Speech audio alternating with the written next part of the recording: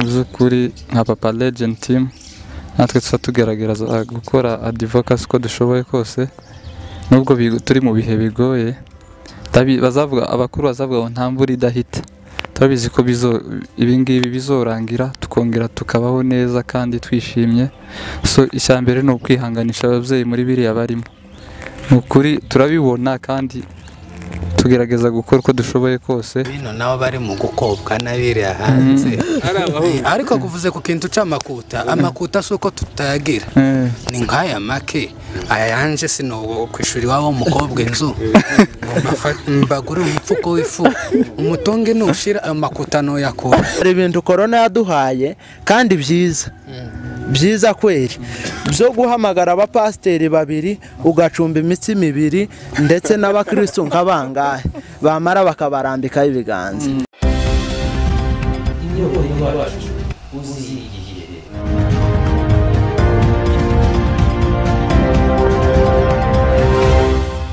Bakunzi ba IITV 1 and radio nk'uko bisanzwe rero kuri kamera zacu.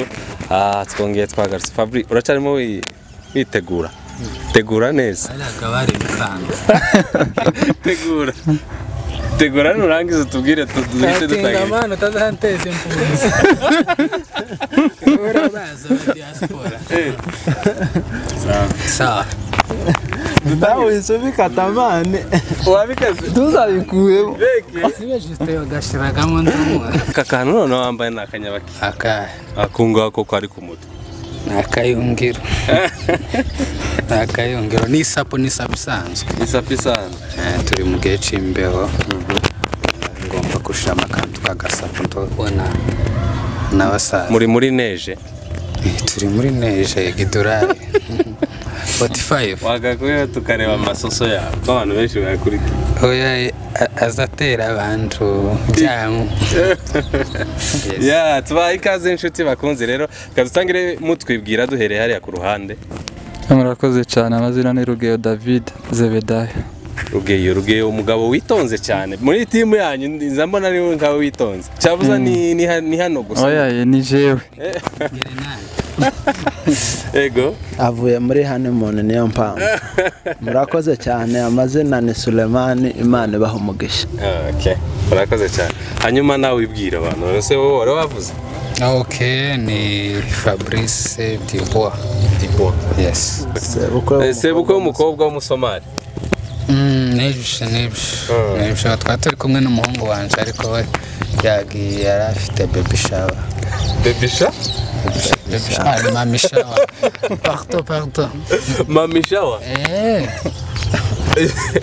Umuhungu yari afite mamishawa yari afite mami shower yagiye yadusize. Ese mamishawa bisobanura iki simbizi nuko yambwiye biracitse ko wifunze udukapo twinshi cyane uri- uri mu ruzinduko cabuza tuvuye masayini ukora iki gutembera tuzi masayini maze ibi hari abagenda yabagiye mu bindi. Oya twari tuvuye mu ihuduma karanti shuru Eh. turi muri karanti shuru right. Yes. Mumeze mute abasaza? Ah, duhereye hirya. Mumeze mute muri ino minsi byifashe bite? Tumeze neza cyane ibintu ni imbombo. Ni highway. Ni highway. Mm. highway imbombo. Two ni uduterme watasanga ahandi hantu aho ariho hose usibye gusa muri papa legend.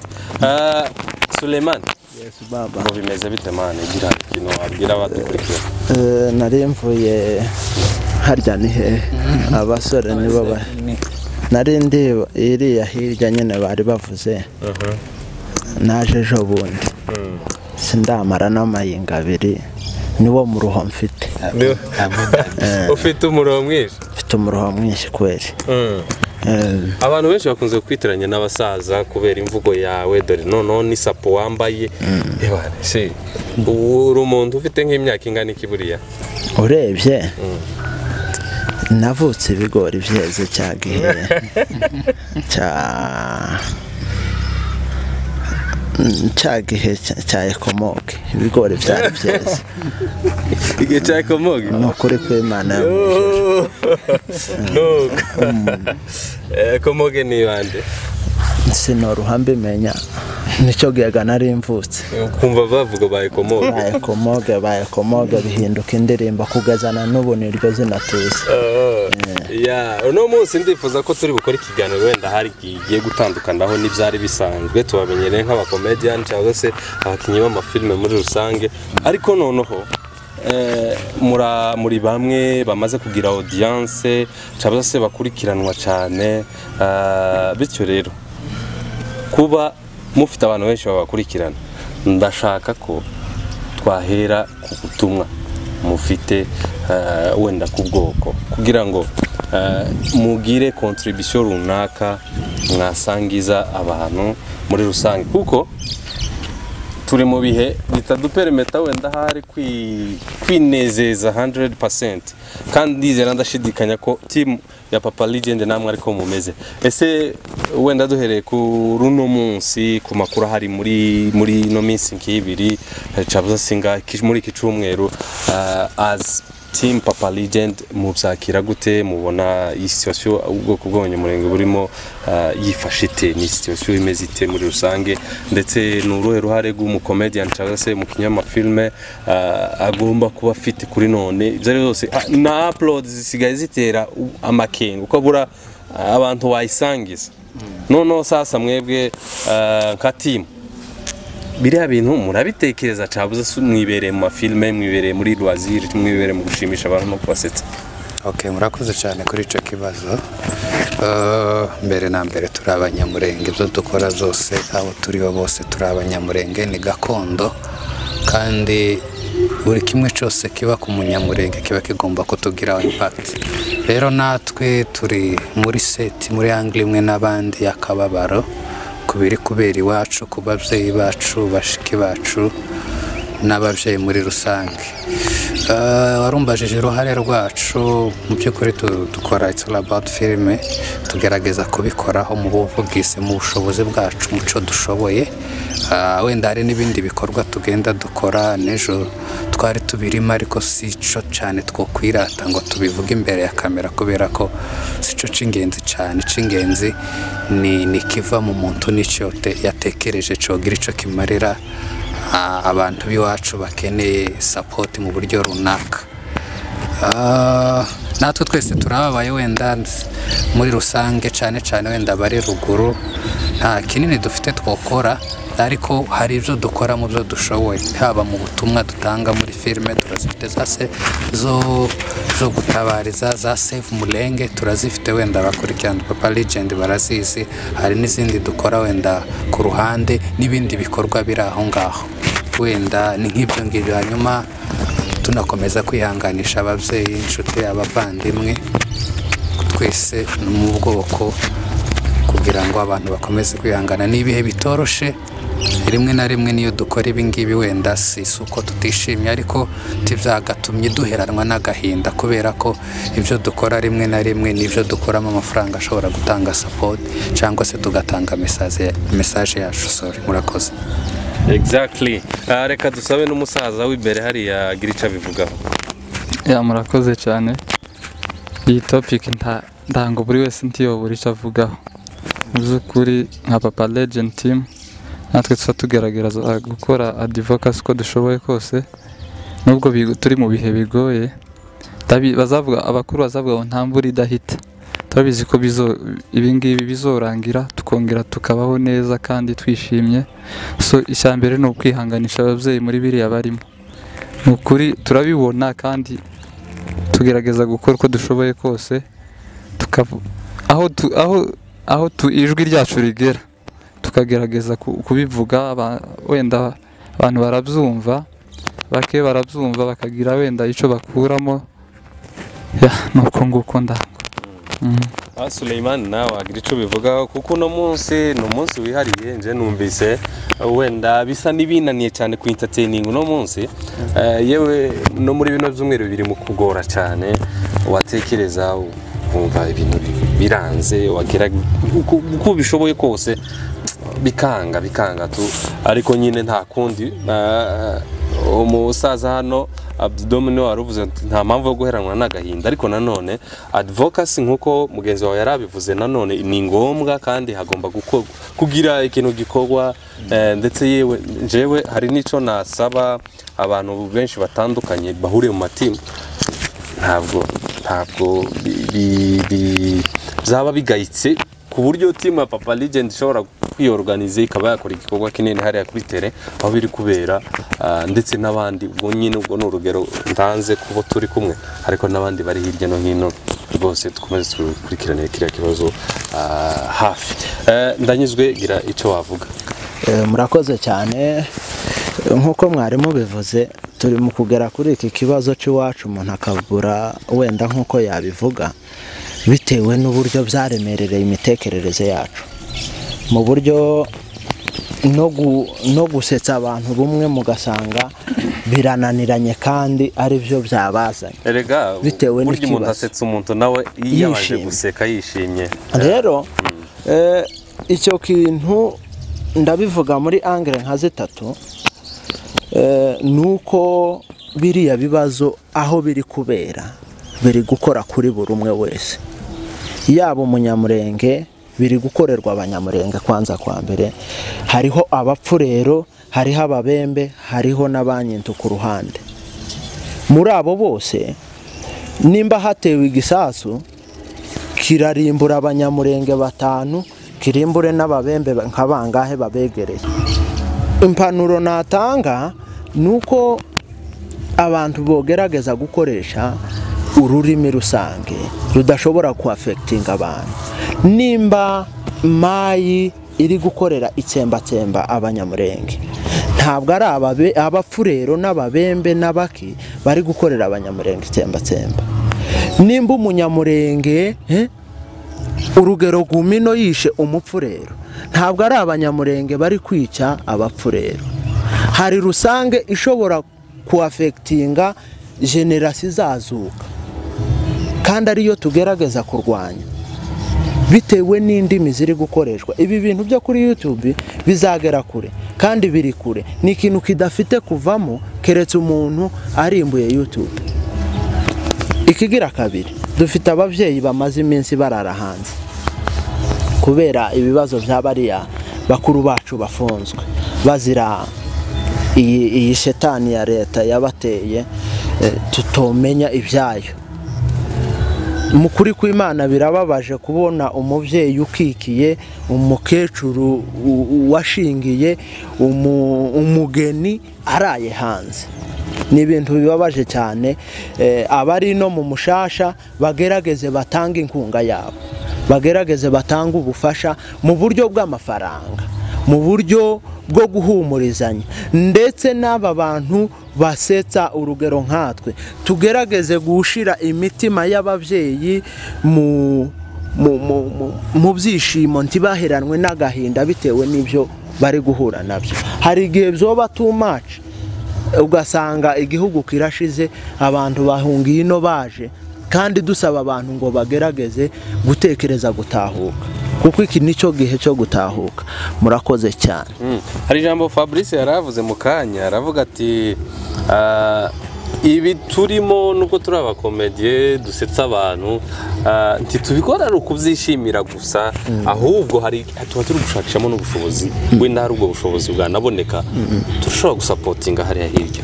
Mboneraho n'umwanya wo kubwira aba- abadukurikirana hirya no hino. Hari igihe eh, abantu bapulodinga ibintu wenda utanabikurikiranye ah, ugahita unengera aho ngaho nta kintu urakurikirana. Ariko buriya eh, ntimukabanenge mureke abantu bakomeze bakora ibyo bumva byose kuko hari igihe ashobora kubikora ari gushakisha ubushobozi kugira nyine koko ngo aze kugira uwo ari butabare Ah, rero uh, reka tuve muri iyo subject ho gatoya ubwo ndabona yanabatonze hanyuma tutarayivaho. Ya kuri iyo point wari uvuze ni byo bahita hari igihe nyine umuntu abona umuntu akajajinga iki iki mostly natwe dufite ababyeyi dufite inshuti dufite ba grand frere kubera ko ino si iwacu twese turi impunzi nk'abandi.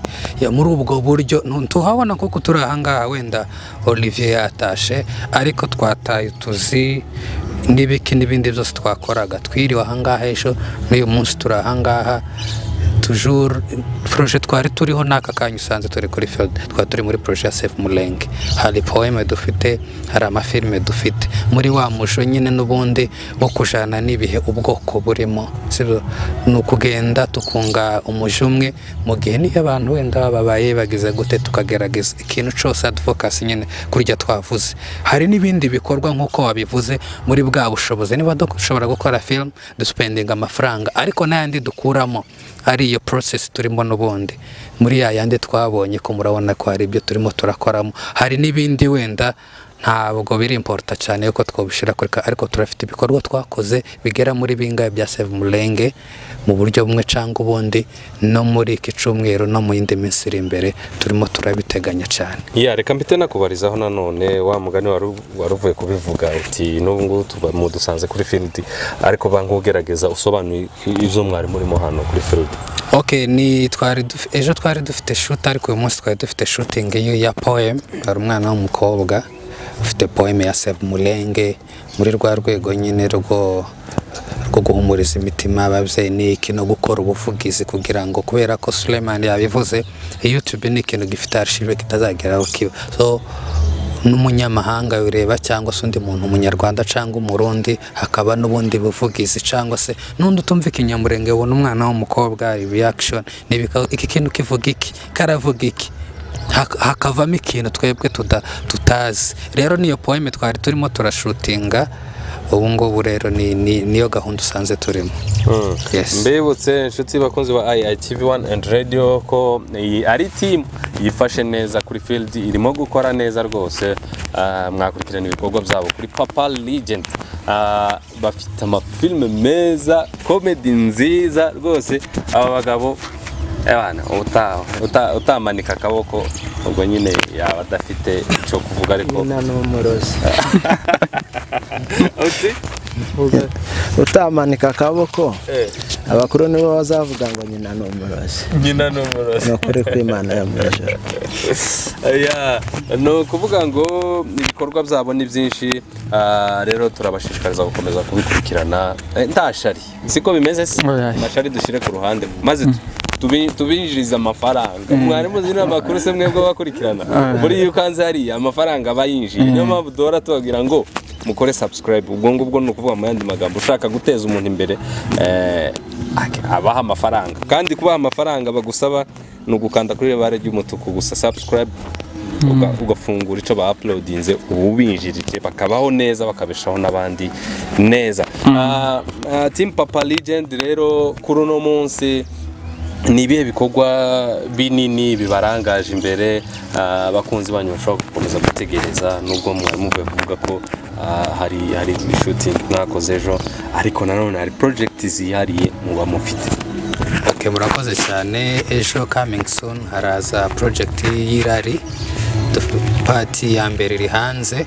So ejo twari turi iyo yindi hari harimo umukobwa w'umu- w'umusomali oya iriya ni umusomali iyi rari ni niyo umukobwa nyine aba afite ababyeyi bagashaka ko ashingiranwa n'umuntu n'umudiyasipora. Umukobwa afite undi mutipe akunda.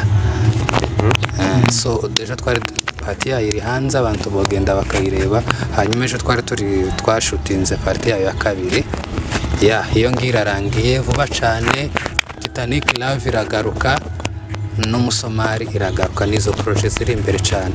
Ah, ariko muri iki cyumweru hari indi yitwa umwana gito yari iri hanze na yo ubu ngubu niyo iriho igezweho. Hasi wa mwanya reka tugaruke kuri iki kintu cya diaspora mani diaspora yagize umutwe munini. diaspora yagize umutwe munini. Iyo utekereje ha- hari ubwo wari watereta ha- hanze? Ndatereta yose mwana n'abana muri afurika hano si imipanga bayimaze gaba diaspora ko barajana imipanga yose. Ntibashobora kwemera gutereta umwana mwiza hano. Kare kuri mu kuvugana n'umupanga ukamusipendinga imyaka ibiri amezi atandatu umwana yamara kuyivanga neza ibicagihe c'ubukwe mubwira ngo muje mu bintu biri fatikabure diaspora kamazana urudorari mwatubabareye.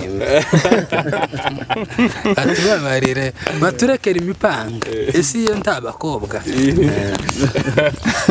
Musaza ah, wenda avuze ko bagomba kubababarira kubera babaswa mu madolari mugasa- ugasanga mubuza abo mwikundiraga.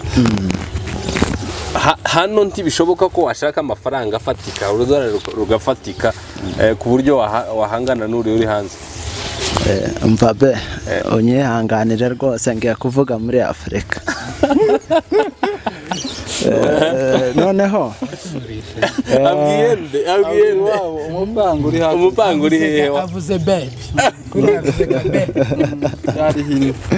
noneho nk'uko mwari mubivuze Ah. hano musarire haba amakuta.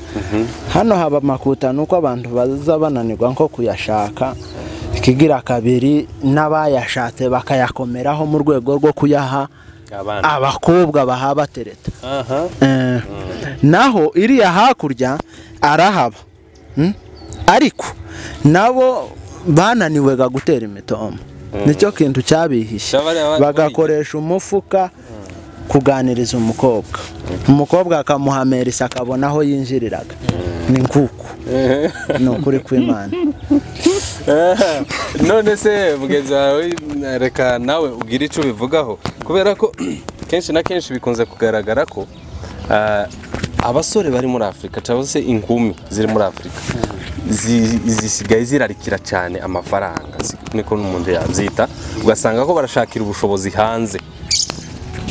Nta ruhare mubifitemo. Eske na- ni abakobwa ba- bafite icyo kibazo kuko bateretswa n'abantu bari hanze cyabuza n'abahungu nabo ni uko nguko nabo baba bafite iryo rari ry'iyo hakurya. Irari ryabaye irari. Nubwo turi mu ryagize umutwe Eh, munini. nubwo eh, ni virisi nubwo turi mu kuvuga imipanga cyane ariko ga na ba pogoba barahari.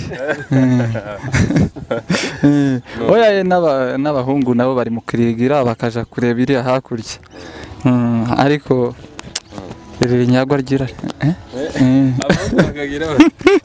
bino nabo bari mu gukobwa n'abiriya hanze. Ari abahungu ariko kuvuze ku kintu c'amakuta amakuta si uko tutayagira ni nk'aya make aya yanje sino kwishura iwabo w'umukobwa inzu. Mbagure umufuko w'ifu. Umutungi nushira ayo makuta noyakura ndagenda nirirwe muri protector. Cyangwa ncuruze meloni imbone renti nanje ari ikibazo. Duke mbonye nza ntubeshesha umupanga nkamujana kuri santere hariya nkagura capo cyangwa chipusi n'iyo nkoko akayirya nkamira imiguti ngo ndebe ko nyemeye ariko za faranga zikanga zigapfa ubusa wumva ko ziba zashize. Ndako tuba tutagize waho umuntu azashima wishikira nje utariye cipo mu rugo abana ntibariye chipusi ariko nkareba umupanga ni wahandi ariko diaspora yaza akam- Ika- akamubwira ikagukuza. ngo ngende mbeho ntibivamo twaragoye. Ariko twabi tumaze kubigira umutwe. Bazoza tereta tubombore tubombore uyu formire ni bombora. Kabisa ubu ngubu noneho tureka tumye n'umuceri nta noneho reka tubivuge byose. Bazoza bishura renti tuba- tubatorokane tugende twitsimba ukwezi kose. Ningaruka bakamutwara bazotware. Ni ukuvuga mugiye guhangana intambara mu- murayeruje cyane. Love win yazaba ngo love win. Tuzazana urukuta ababyeyi nibagumuka ngo baramutanga. Habeho bomborashyi nico gakiri mu gu- ni- ariko uwo muco uri ahantu mwa- mwabyibagiwe. Uwo muco wo kubombora ubujanye umuntu mut- mutazi none se ari igihano cyo guhana umuntu watanyije abantu bari muri love. Uwo kundana bari muri edeni. n'umupanga n'umurobanurwa. Mwagiye muri pasiparumu mwicaye mwareba chips. Chips n'inkoko yawe yayiriye. Amaze bakabatanya ikosa rirenze iryo ni irihe? Hari ukuntu uba ukunda umupanga ukavuga ngo nje tuzokora ibirori. N'iyi filime niko imeze tuzokora ibirori ugaporomayisinga umwana twari twarasevinze deti n'ibiki byose. Ariko kubera ko ndi sapo ndarukuta haje ufite urukuta. Nanjye nkabonaga nta indi choice. Si uguta umuco si uburere buke n'ikindi. Uzi ureba umwana mwakundanye ko watuye umupanga ntibamu none Suleiman reka ngira akabazo kubaza eh, mwese murakavugaho timurashaka ko muri batatu. Ariko mwumva hariho impamvu nyamukuru cyangwa se ifatika yo kugira ngo umuntu abe yakora ubukwe umugasipiye amafaranga menshi cyane gukora ubukwe bw'amafaranga y'ikirenga. Eh, wenda duhereye kuri Suleiman. murakoze cyane naza numva amakuru y'abana hano. Banza uyavugeho ubone gusubiza icyo kintu. nk'ibi- nk'ibintangaza kumva umwana ungana gutya kara kandi uku ni we mineri muri twe. Imviga zarameze nuko ga. Ariko mu by'ukuri nk'uko bagenzi banje bari bavuze mu kandi kanya eh, iki- ikibabaje ni uko umuntu ari mu gushakwa ku atazi kubera im- impamvu z'inyungu z'ababyeyi. Ikigira kabiri kubera impamvu z'inyungu z'uriya wakunze uwo atazi ni nk'uko. naho ikijyanye no no kugira gute hajya? No gukora ubukwe buhenze. Ubukwe buhenze? Musarire hari ibintu korona yaduhaye kandi byiza. Byiza kweri. Byo guhamagara abapasiteri babiri ugacumba imitsi mibiri ndetse n'abakirisitu nk'abangahe. Bamara bakabarambikaho ibiganza. Ibyo bintu byaza bifasha abantu mu rwego rwo kugabanya depanse imwe n'imwe. Kandi aba ari byiza. Imitsi mibiri na hafi ya zibiri indobo ni ikarangira. Ukuri kw'imana yo mu Ntabyoroshye. kiriya kintu korona yadusigiye cyari isomo. Cyari isomo twari dukwiriye gukuraho bino bintu. Hano inyuma babamo tukinjira muri kiriya cyazanwe na korona kuko turi mu gihe cya korona ntabwo itangaza vuga sogoko. Oya, ahubwo iriya nyagwa yarancitse ndashize umupanga mu mago. Nanjye nari naguze amatara. Naba numva bakuyeho kafiyo ndababara. Ndababara cyane ariko kandi ibintu bya nuko nyine twari muri virisi ari icyago. Ariko virisi na yo hari nk'ibintu bikeya yagiye izana ibintu byiza nk'ibi suremani yari avuze intore nka zitatu z'imitsima nka zine na pare gatanu N'amarene. ni dutanu. Eh, na fiya zihuye nabo.